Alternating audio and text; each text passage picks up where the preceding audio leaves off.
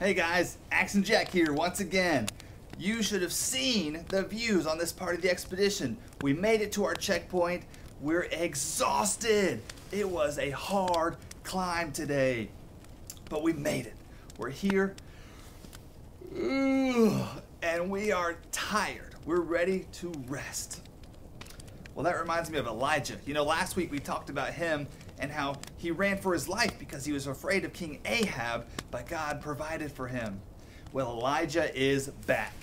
And just like my walking stick, he'll kind of be like Elijah. And Elijah made King Ahab even angrier. We'll say this tomato right here is King Ahab. So he made King Ahab even angrier than he was last week. So he was so angry, like that. So what happened was Elijah went up against the prophets of Baal. They are false gods. And it was kind of like a competition. So these are like the prophets. This is Elijah serving the one true God. They're serving a fake God. Woo! And do you know who won? That's right. Elijah serving the one true God. God won. Well, that made King Ahab angry, and that made his wife, the queen, angry. And so they talked. And she wanted Elijah dead. She wanted to have him killed. And so Elijah, again, was running for his life.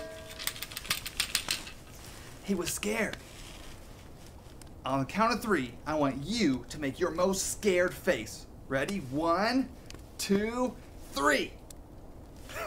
that looked pretty scary.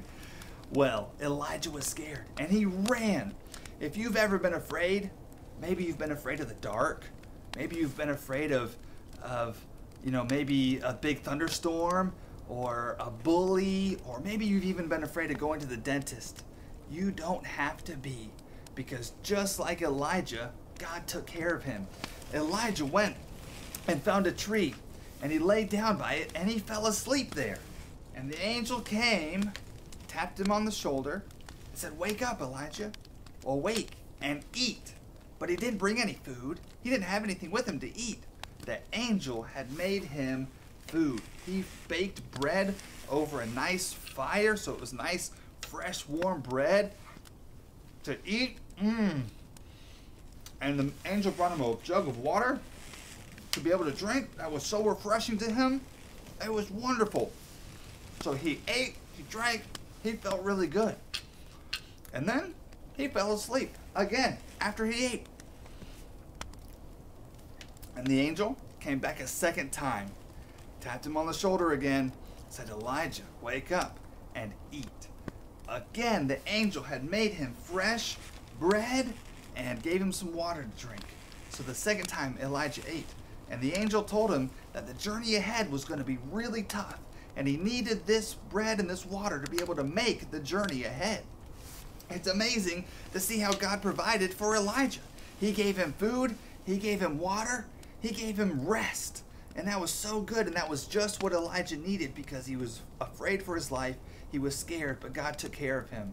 Remember that God can take care of you even when you're afraid or you're scared of things like thunderstorms or a bully. Remember that God will take care of you, just like He did for Elijah. Well, what was going to come next really is a cliffhanger, so make sure you stay tuned. Ugh. And until next time, I'm Action Jack. Good night.